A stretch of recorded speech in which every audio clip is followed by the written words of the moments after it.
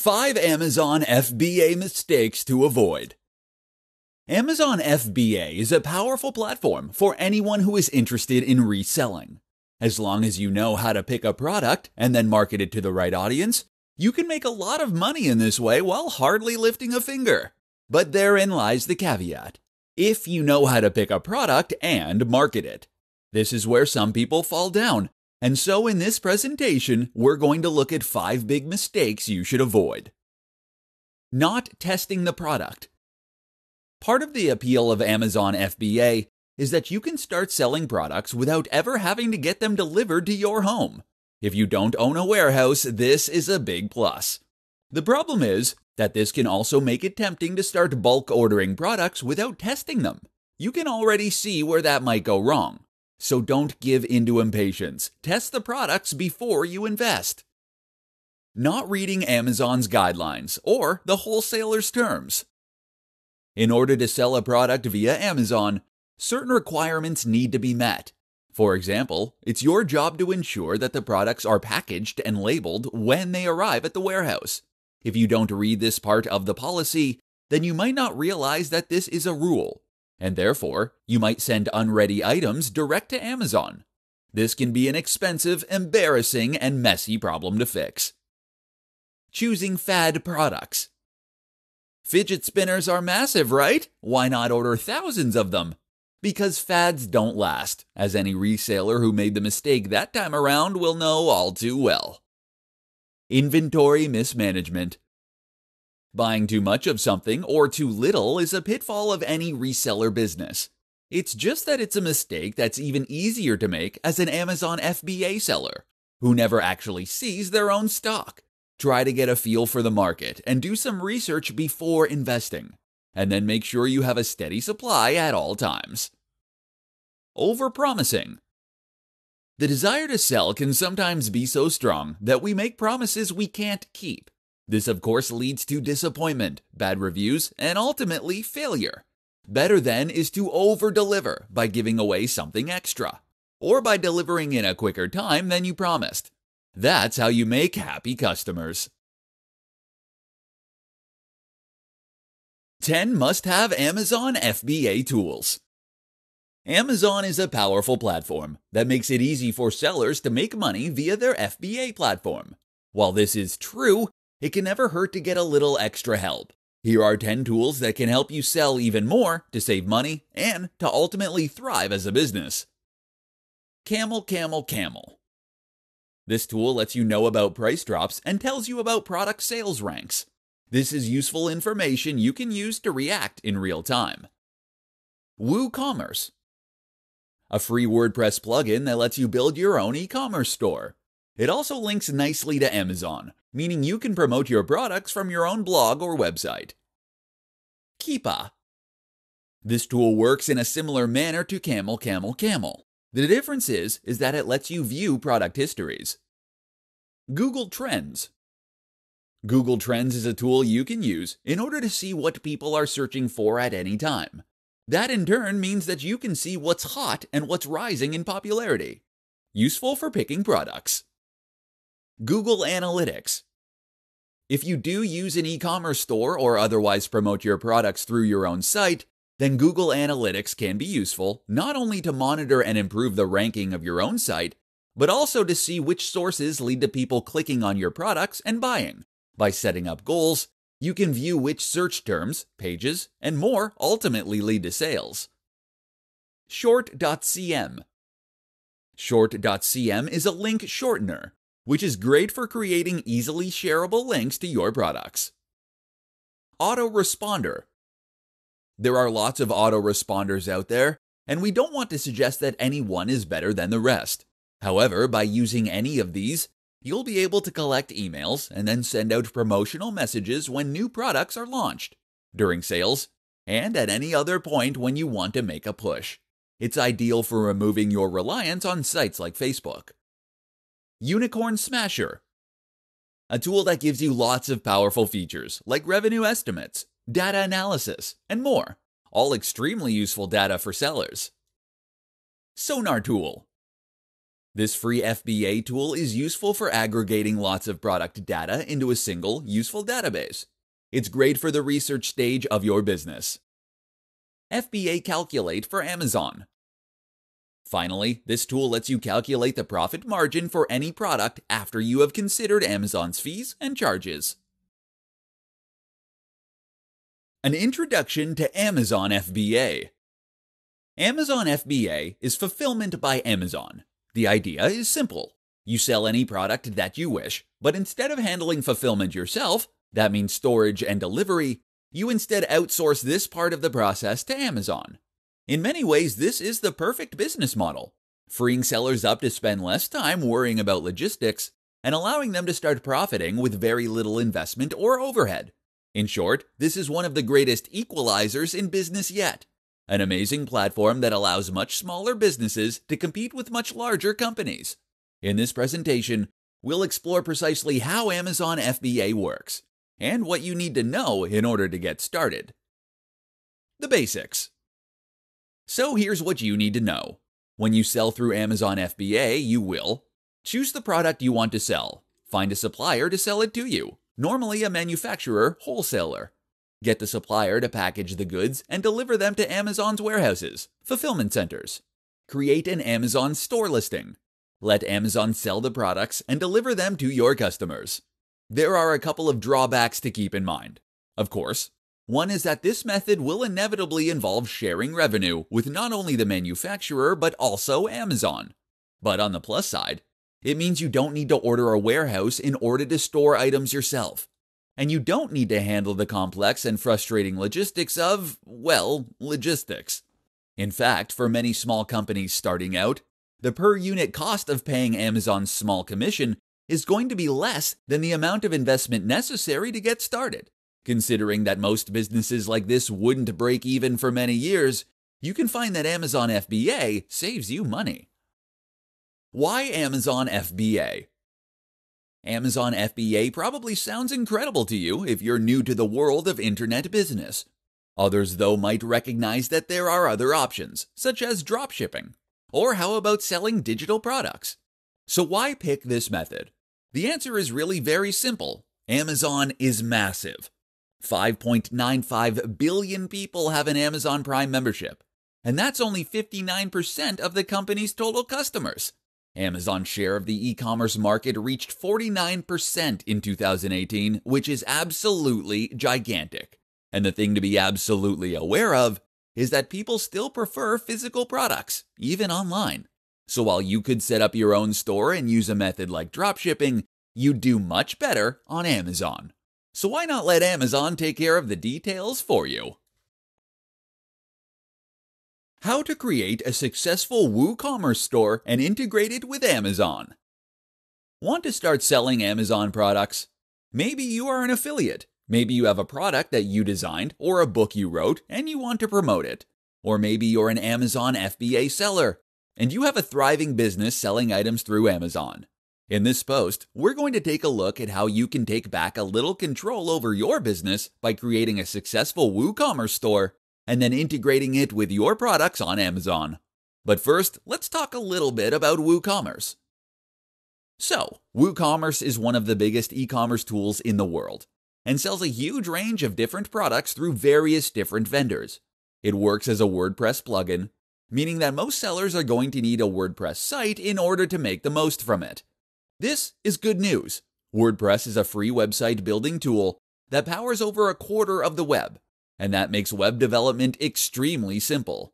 To get started with it, you just need to invest in a web host, a company that will store your files online and make them available to browsers. And then you'll normally be able to install it with a single click. WooCommerce is just as simple to set up. You'll just need a PayPal account, ideally, and to install the plugin via your WordPress admin panel. You'll now be able to take orders and handle inventory, and you'll be able to add orders from external websites just the same way. You can use the WooCommerce controls to add a new product. And then choose External Affiliate Product. Now enter the URL of your product and add any details and images you want to promote. This in turn will mean that when someone clicks it, they will be taken to that checkout page. You can even use an affiliate link and earn twice from those sales. So why not use a store like this and not just leave it to Amazon's very capable listings? The answer is that by running your own WooCommerce store, you'll be able to offer products right in your own blog. That in turn means you can use content marketing more efficiently. And it means you can persuade people that are engaged with your brand. If you have a successful website, then this is a brilliant way to show your products to all of those visitors.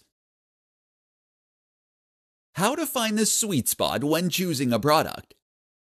While Amazon FBA handles a lot of the more technical and fiddly aspects of reselling for you, those being storage and delivery, you are ultimately responsible for the most important decisions, the ones that will ultimately dictate whether your business thrives or sinks. And the most important of these, choosing your product. So, how do you go about picking a product that you want to sell? Let's see how to find that sweet spot pricing, and profit.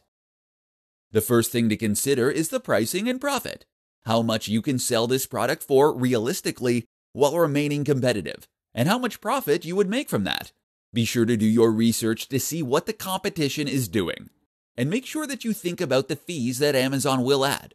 You can use the free FBA calculator for Amazon to work this out, and there are many common strategies for working out pricing.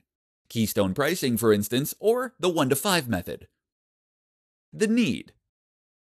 If you're going to sell something on Amazon and have it be successful, then you should identify a need. What are people looking for? What will they need in the long term? This can mean responding to an emotional need, buying luxury items that make people feel comfortable, entertained, or successful. Or it can mean responding to a physical need, such as eating or transport. The mistake is to look for trends that are successful right now, but which might disappear anytime soon. Instead, look for products that have a useful utility and that you can see are selling well already. The niche. Finally, think about the niche industry. Are you selling fitness products, dating products, clothing, technology? This is important because it's going to be up to you to try and promote those products and this is where your own knowledge and love for the subject can be a huge asset. Don't try and sell things that you have zero interest in. The result will be that you struggle to pick the right items, or that you don't know how to sell them to other people. Look for something that you would want to buy, or that you have bought and that you love. Now use this genuine excitement to build buzz and hype for that item and to sell it to others. Oh, and make sure that the product is good. How to Price Your Products An Introduction to Keystone Pricing. With Amazon FBA, it's incredibly simple for anyone to set up an online business selling physical products. While a lot of internet marketing involves digital products, or ads being shown for sites that show other ads, at the end of the day, most consumers still want physical products. This is still where you are going to get the most revenue. And by using Amazon FBA, you'll be able to sell any physical product you choose with no setup or hassle. The downside of that, it means a lot of people can end up investing large amounts into business plans that haven't been properly thought out. It means that they might not, for example, have considered how they are going to price their products. So, with that in mind, this presentation is going to provide one solution Keystone Pricing. Keystone pricing basically means that products are going to be sold for a price that is roughly double the wholesale price or cost of the product. The basic business model as a reseller is that you are buying up inventory in bulk in order to get it cheaper and then selling that inventory onward for a profit. You get to keep the difference, which is how you calculate profit. It also works very well for Amazon FBA. So let's say that you have invested in 100 jeans. You paid $1,000 for these meaning that they cost you $10 each. Keystone pricing would dictate that you sell them on for $20. This in turn would help you to sell them at a reasonable price while still keeping a healthy profit. Why don't customers just buy for that price direct? Mostly because wholesalers will only sell in bulk. Okay, so is this a perfect strategy? Not quite. For one, this is only one method you can use to calculate price. Another effective option is something called the 1 to 5 rule. This means that you should sell for five times the original COG's, cost of goods sold. If the wholesaler charges a big markup, though, then this won't be possible without eating into your profits. Then there is the issue of competition. What are the other companies selling their products for? Can you compete with them? What does the price tag you have added indicate about your product? And what about special deals and offers? Have you left room? These are all factors to consider when picking your price. The best place to find physical products to sell on Amazon. Amazon now makes it incredibly easy for anyone to set up their own online business selling physical products. You don't need a warehouse, you don't need an expensive deal with a logistics company. You just need a knack for spotting great products and a marketing head on your shoulders. Okay, so where exactly do these great products come from? Unfortunately, you can't choose any product you like because there's no guarantee that those products will be available for you to resell. This can somewhat put a damper on any big business plans you might have been concocting. But don't worry, there are actually thousands of Amazon products waiting for you to sell at Alibaba.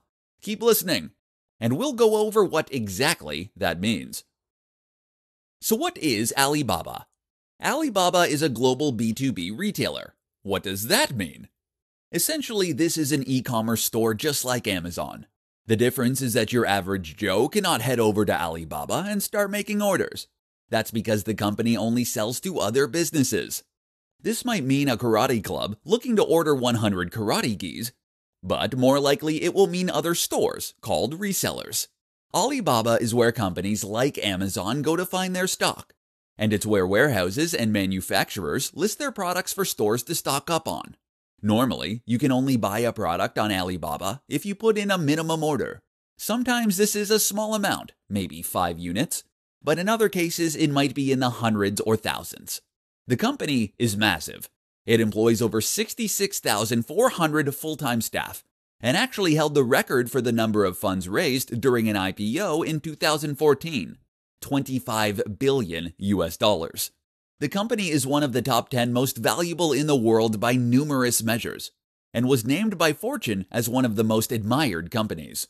All you need to know then is that this is the place to source your products to sell on to others.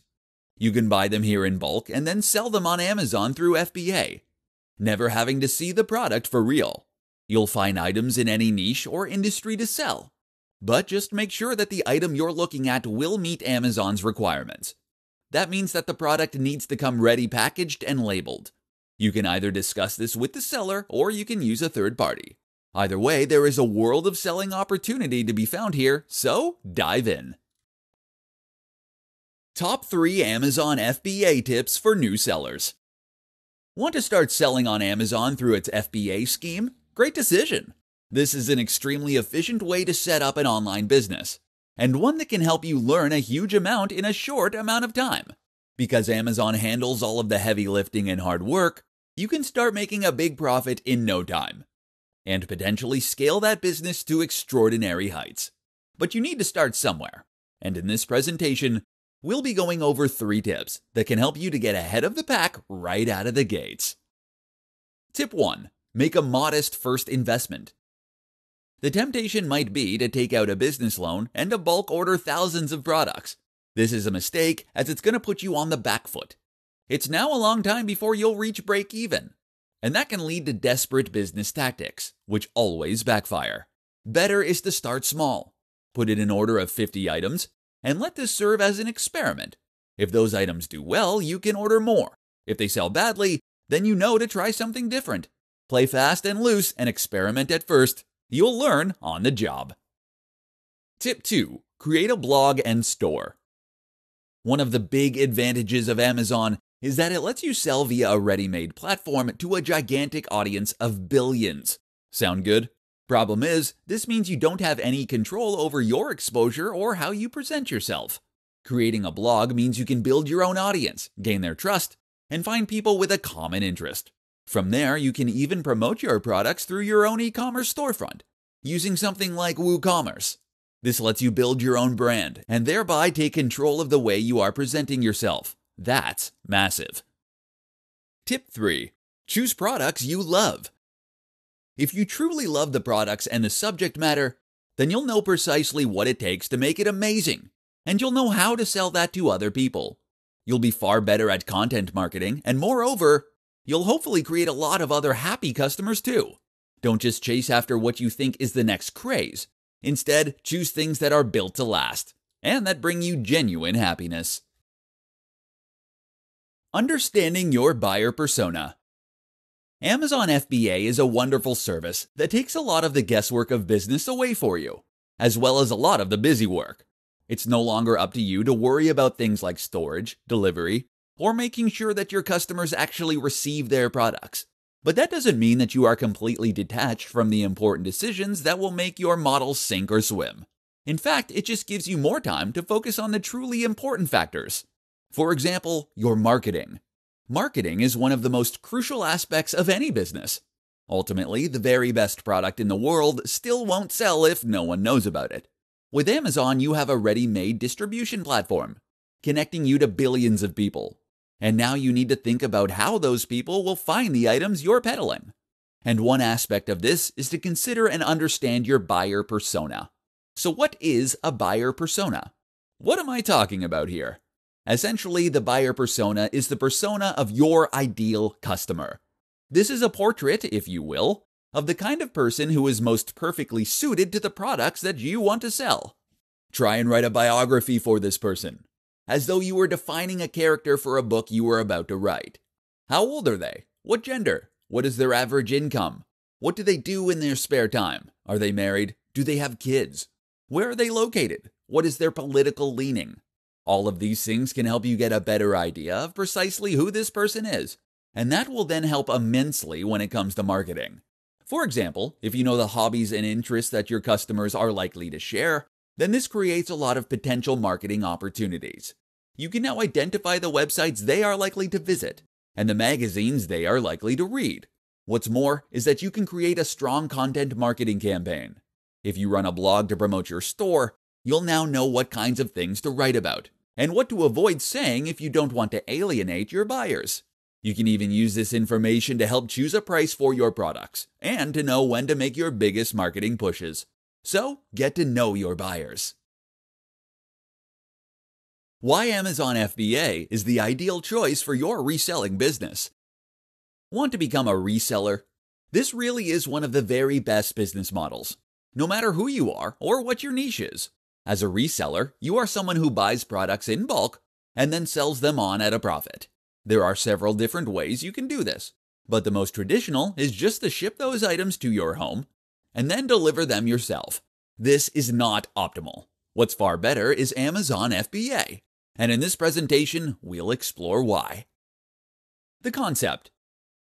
The basic concept behind Amazon FBA is that you get products shipped to Amazon's warehouses rather than to your home. Amazon will then store those items as needed before sending them on to the customers. That means that you can remove a lot of the stress and the confusion when it comes to selling. Here are just a few of the things you no longer need to worry about if you choose to use Amazon FBA. Finding somewhere to store your products, paying rent on a warehouse, sending your products out to customers, working with drivers and logistics companies, handling missing items, late deliveries, customer complaints, creating an e commerce store or platform. If you are a savvy marketer, though, you may be considering alternate options, such as dropshipping. Here, resellers send products direct to customers on your behalf, meaning you can drop the middleman. The problem with that is that you still need to handle orders, and now you need to create a storefront as well. Moreover, very few companies will be willing to offer dropshipping, whereas you can work with pretty much any wholesaler when you sell through Amazon. And by selling through Amazon this way, you'll be able to reach one of the biggest audiences in the world. That's amazing enough on its own, but it's made even better when you consider that all these buyers are already signed up for Amazon and that they already trust the platform. So many of us are used to buying products with one click that we hardly even think about it now. That's a huge opportunity for you to capitalize on. And while there are other ways to stock products and sell them through Amazon, this is by far the easiest way.